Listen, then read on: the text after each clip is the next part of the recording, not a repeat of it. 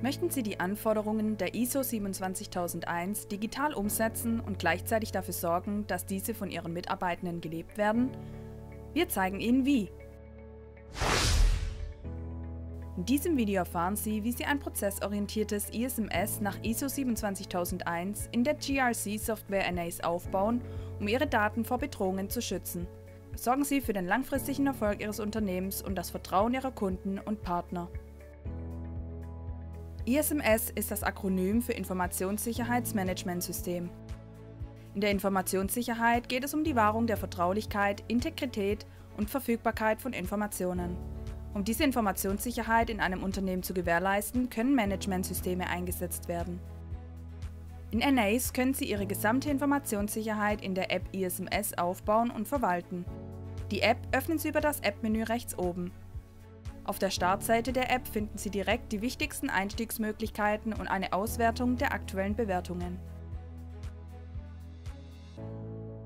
Im Bereich Organisation können Sie abbilden, wie Ihre Organisation in Bezug auf Ihre Informationssicherheit strukturiert ist. Modellieren Sie dort Ihre globale ISMS-Organisation und die von jeder einzelnen Niederlassung. Sie können den Aufbau als Freihanddiagramm anlegen, wie im verlinkten Video zu Prozesslandkarten beschrieben. Dort können Sie dann auch direkt die Verantwortlichkeiten in Form von Rollen und Mitarbeitenden zuweisen, so wie von der ISO 27001 vorgeschrieben. Damit schaffen Sie eine klare Governance-Struktur und sorgen dafür, dass die Verantwortlichkeiten für die Informationssicherheit eindeutig zugewiesen sind. Gemäß ISO 27001 ist es für Unternehmen im Rahmen ihres ISMS ebenfalls verpflichtend, ein Handbuch mit den ISMS-Zielen zu erarbeiten. Im Bereich der Handbücher können Sie Ihr eigenes ESMS-Handbuch anlegen oder die bereitgestellte Vorlage anpassen. Auch hier können Sie entweder global oder bei Bedarf für jede Niederlassung eigene Handbücher hinterlegen. Wie Sie Handbücher anlegen und bearbeiten, erfahren Sie in unserem Video zum Dokumentenmanagement, das jetzt in der Infobox und in der Videobeschreibung verlinkt ist. Im Bereich der Handbücher können Sie auch direkt in NAs Normen einbinden und in Kapiteln die passende Norm verlinken. Ihr ISMS können Sie in NAs prozessorientiert aufbauen. Das bedeutet, Sie können direkt in Ihren Prozessen bestimmen, ob diese relevant für Ihr Informationssicherheitsmanagement sind. Öffnen Sie hierfür einfach einen Prozess. In den Eigenschaften finden Sie die Eigenschaftengruppe ESMS. Wählen Sie dort aus, ob der Prozess relevant für die Informationssicherheit ist und bewerten Sie dessen Kritikalität.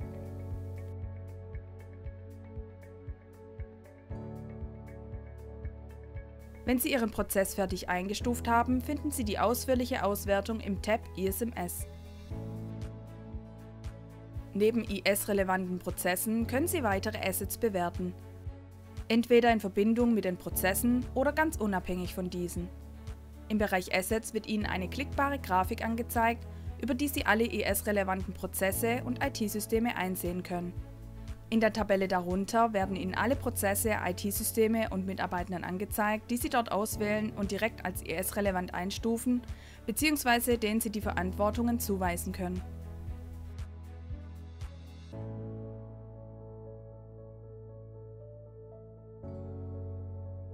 In der App können Sie den Anwendungsbereich Ihres ISMS dokumentieren, wie ebenfalls in der ISO 27001 vorgeschrieben. Den Anwendungsbereich können Sie für Ihr Unternehmen insgesamt oder auch für jede einzelne Niederlassung definieren. In der Beschreibung können Sie genau aufführen, welche Geschäftsprozesse vom ISMS betroffen sind. In der Tabelle darunter werden alle Prozesse und deren Kritikalität angezeigt. Sie können also direkt Ihren dokumentierten Anwendungsbereich mit den IS-relevanten Prozessen vergleichen und dafür sorgen, dass Ihr Anwendungsbereich vollständig dokumentiert ist. Für Ihr ISMS stehen unter Stammdaten sogenannte Kataloge bereit. Dort finden Sie unter anderem Bedrohungen, Schwachstellen und Gefährdungsszenarien mit elementaren Gefährdungen, die vom BSI, also dem Bundesamt für Sicherheit in der Informationstechnik und in der ISO 27005 empfohlen werden. Die Kataloge können Sie jederzeit nach Bedarf anpassen und erweitern.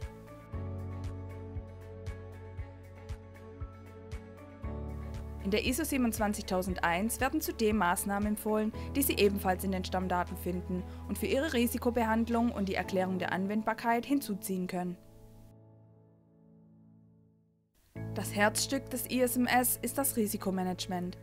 In Ihrer ISMS-App in Anais können Sie den Risikoprozess in drei Schritten durchführen. Risikoidentifikation, Risikoanalyse und Risikobehandlung.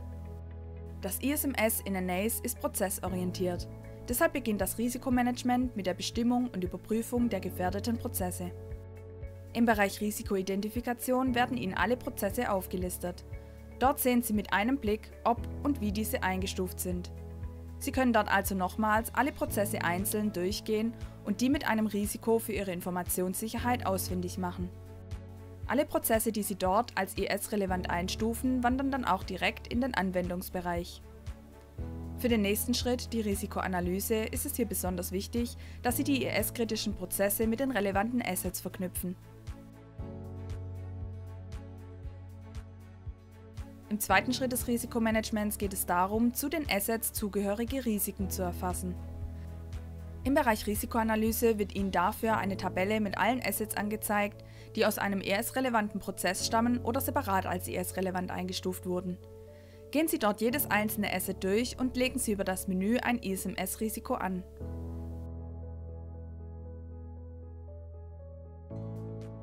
Geben Sie eine Risikobezeichnung ein und wählen Sie aus den Katalogen ein Gefährdungsszenario aus.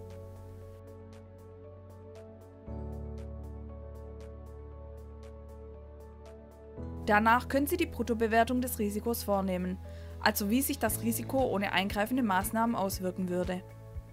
Dort können Sie also auch wieder Bewertungen für die Eintrittswahrscheinlichkeit, Vertraulichkeit, Integrität, Verfügbarkeit und Authentizität hinterlegen. Wenn Sie dann noch eine Begründung für Ihre Risikobewertung eingetragen haben, können Sie das ISMS-Risiko anlegen. In der Tabelle sehen Sie direkt, dass ein ISMS-Risiko für das Asset angelegt ist und wie es bewertet wurde. Genau wie Prozesse können Sie auch IT-Systeme näher analysieren. Öffnen Sie hierfür einfach das IT-System und schauen Sie sich dort im Tab ISMS die detaillierte Auswertung an. Nach der Risikoanalyse mit der Bruttobewertung der Risiken kommt die Risikobehandlung. In diesem letzten Schritt geht es darum, Maßnahmen zu den Risiken und eine Nettobewertung zu erfassen.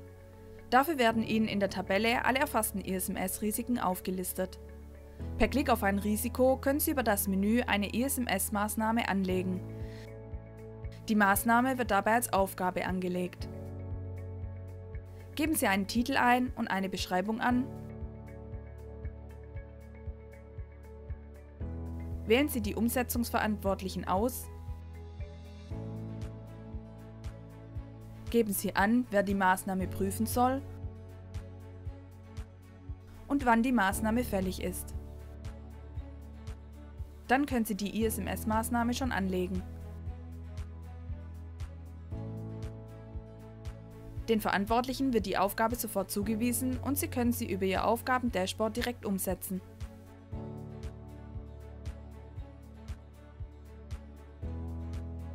Für Ihren Risikobehandlungsplan können Sie anschließend über die Eigenschaften des Risikos die Nettobewertung definieren, also die Kritikalität des Risikos, nachdem die Maßnahme eingeführt wurde.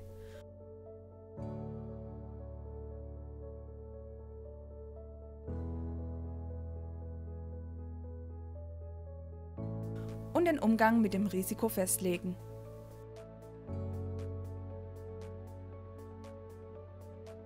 In der Tabelle sehen Sie übersichtlich, wie Ihre ISMS-Risiken eingestuft sind und können direkt die kritischsten priorisieren. Durch diese drei Schritte im Risikomanagement behalten Sie die Kontrolle über mögliche Risiken für Ihre Informationssicherheit, gehen sicher, dass die Verantwortlichkeiten geklärt sind und fördern so langfristig eine Kultur der Sicherheit und des Vertrauens. Die Erklärung der Anwendbarkeit oder auch Statement of Applicability ist eine weitere Dokumentation, die von der ISO 27001 gefordert wird. Die Erklärung muss alle Maßnahmen enthalten, die ein Unternehmen im Rahmen seines ISMS bewertet hat. In diesem Bereich finden Sie also die erwähnten Maßnahmen aus dem Katalog und können für jede davon festlegen, ob dies in Ihrem Unternehmen anwendbar ist. In den Eigenschaften jeder Maßnahme können Sie eine passende Erklärung für Ihre Anwendbarkeit hinterlegen, ihren Status setzen und Dokumente verknüpfen, die den Umsetzungsstatus belegen.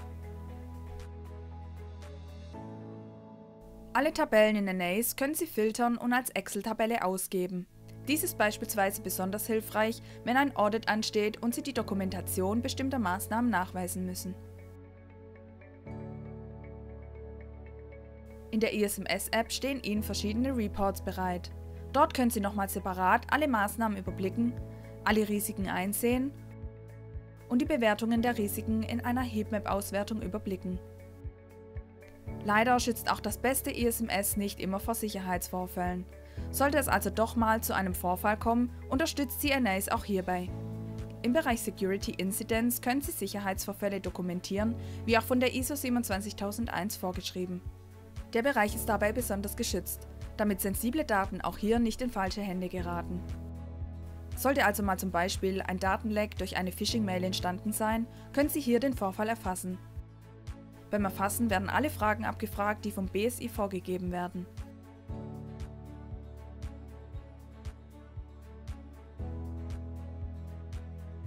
Danach kann der Informationssicherheitsbeauftragte den Vorfall nochmals detailliert in den Eigenschaften des Vorfalls bewerten. Die erfassten Sicherheitsvorfälle helfen Ihnen im Nachgang, die Eintrittswahrscheinlichkeit von ISMS-Risiken besser einzuschätzen, was wiederum zur stetigen Weiterentwicklung und Verbesserung Ihres ISMS beiträgt. Setzen Sie so Schritt für Schritt die Anforderungen der ISO 27001 sicher um und beziehen Sie alle Mitarbeitenden in den Prozess mit ein. Neugierig geworden? Fordern Sie noch heute eine Testversion an. Und vergessen Sie nicht, unseren Kanal zu abonnieren.